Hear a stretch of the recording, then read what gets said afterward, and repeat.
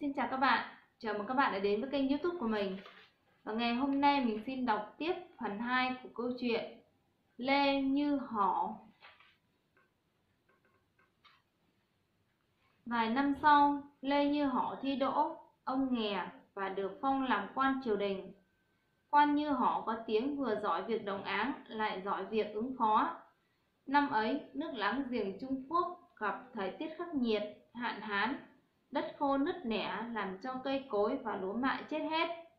Dân khắp mọi nơi sắp chết khô, nhà vua làm lễ tế cầu mưa để cứu dân thường và mong sự giúp đỡ của các nước lân cận. Nhà vua nước Nam phái Lê Như Hổ đi sứ sang Trung Quốc.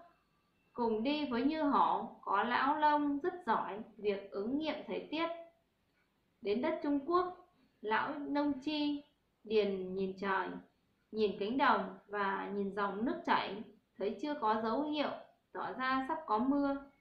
Nếu có mưa thì phải qua mùa khô, mùa hạ nên mới nói với như họ tâu với vua rằng, xin bệ hạ cho xây một đàn tràng ở ven sông.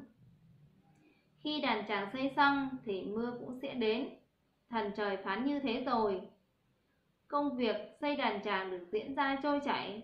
Thực ra lão nông cố ý xây từ từ để đến khi xây xong đàn tràng là đúng lúc cây cỏ, cây si đâm nõn trắng, dễ mọc um tùm.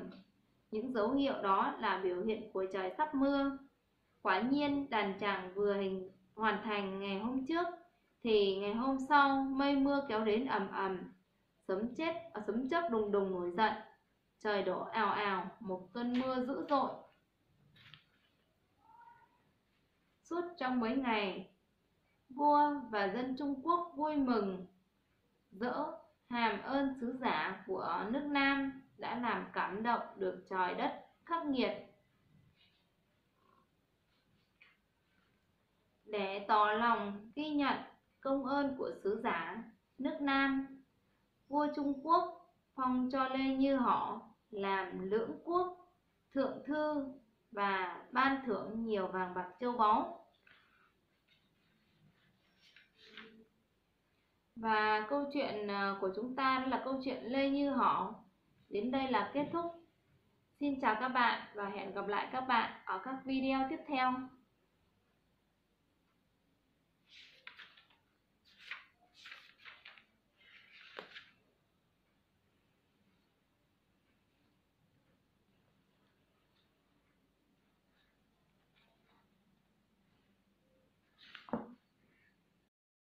Xin chào các bạn, chào mừng các bạn đã đến với kênh youtube của mình.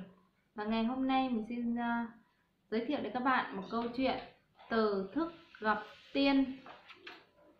Thời xưa ở Thanh Hóa, bấy giờ gọi là Hòa Châu Có một người tên là Từ Thức Vốn con quan nên được bổ nhiệm là một chức quan nhỏ Ở một địa hạt thuộc xứ Kinh Bắc Tục truyền địa hạt ấy thuộc huyện Tiên Du, tỉnh Bắc Ninh.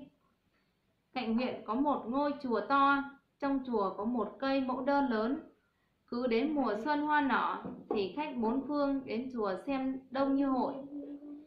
Một hôm có một thiếu nữ tuổi chừng 16, 17, nhân sắc xinh đẹp, đến xem hoa, nhỡ tay, viện gãy một cành, không có gì để đèn, nên bị người chùa bắt giữ lại từ chức đi qua trông thấy, liền cởi áo, mặc ngoài, chuộc cho thiếu nữ. Mọi người đứng đứng xem, đều khen từ chức là người nhân đức. Đi giao du, xem phong cảnh đẹp và làm thơ thì từ chức rất ưa thích. Còn việc quan thì chàng thường bỏ mặc. Nên bị quan trên quả trách. Chẳng bao lâu, từ chức xin từ quan, thấy huyện tống sơn có nhiều núi đẹp chàng đem theo một tiểu đồng và một núi đàn đến dựng một nhà nhỏ ven chân núi để ở. Từ ấy, những phong cảnh đẹp quanh vùng không nơi nào là nơi có vết chân của từ chức. Một hôm dậy sớm, trông ra cửa, thần phù thấy có mấy mây ngũ sắc kết thành hình hoa sen. Từ thức một mình chèo thuyền ra phía ấy đến một uh, dãy núi cao ngất chạy sát mặt biển. Từ thức thuộc thuyền buộc thuyền lên bờ và trèo lên một mỏm đá cao. Chợt trông thấy một cái hang bên sườn núi cửa hang tròn và rộng nên chàng thử vào hang xem sao. Từ thức mới đi được vài bước thì cửa hang bỗng đóng sầm lại. Hang tối mệt mù không còn biết đường lối nào từ thức phải lần theo khe nước mà đi đi được một lúc lâu. Thấy có ánh sáng, chàng lần ra khỏi hang và đi đến một chân núi khác. Thấy núi cao vời vợi, sườn núi dốc ngược. Từ thức cố bám vào hốc đá và leo lên. Lên cao, chàng thấy có đường rộng. Rồi lên đến đỉnh núi thì trời quang đãng. Ánh sáng rực rỡ xa xa có lô điện nhấp nhô bên những lùm cây xanh. Video của mình đến đây là kết thúc. Xin chào các bạn và hẹn gặp lại các bạn ở các video tiếp theo. Xin chào các bạn.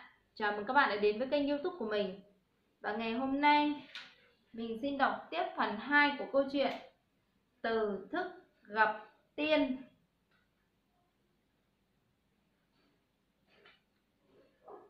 Từ thức đi theo đường lớn đến một lâu đài bỗng có hai thiếu nữ mặc áo xanh chạy ra, bảo với nhau rằng, chú rể nhà ta đã đến kia rồi. Rồi hai người chạy vụt vào tòa nhà lộng lẫy. Một lúc sau, họ lại ra nói với tử thức rằng, phu nhân sai chúng tôi ra mời người vào chơi.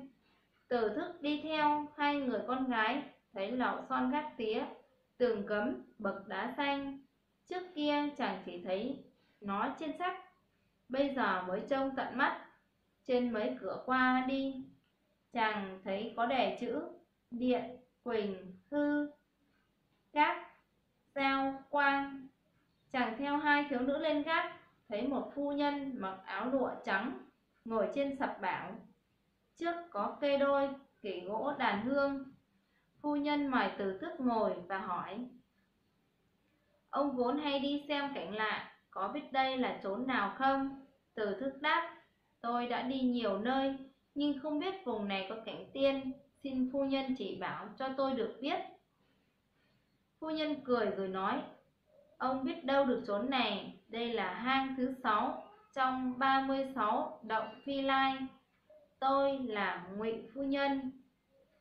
Địa tiên núi nam tạc vì thấy ông có cao nghĩa nên mới mời đến chơi phu nhân bảo thị nữ gọi một tiểu thư ra, vừa trông thấy, tử thức nhận ra là người con gái đánh gãy cành hoa mũ đơn trong chùa ngày nọ.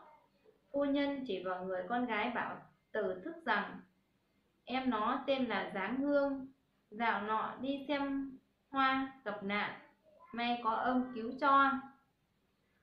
Tôi vẫn còn hàm cảm ơn ấy nay tôi muốn cho em nó kết duyên với ông để đáp lại ơn nghĩa. Ngay hôm ấy, phu nhân sai mở tiệc hoa cho hai người làm lễ thành hôn. Từ thức ở được chừng một năm, có ý nhớ nhà, nói với sáng hương rằng, tôi đi xa nhà đã lâu, lắm lúc nhớ quê cũ, muốn về thăm một chút. Sáng hương tần ngần không đáp từ thức lại nói tôi chỉ về chơi ít bữa, lại đến đây với nàng. Dám dáng hương khóc và nói rằng tiếp không phải vì tình lưu luyến hẹp hòi, ngăn trở ý định của chàng. Chỉ vì ở trần gian này, ngày tháng ngắn ngủi sợ chàng về không thấy. Sợ chàng về không thấy còn như trước nữa video của mình đến đây là kết thúc. Xin chào các bạn và hẹn gặp lại các bạn ở các video tiếp theo.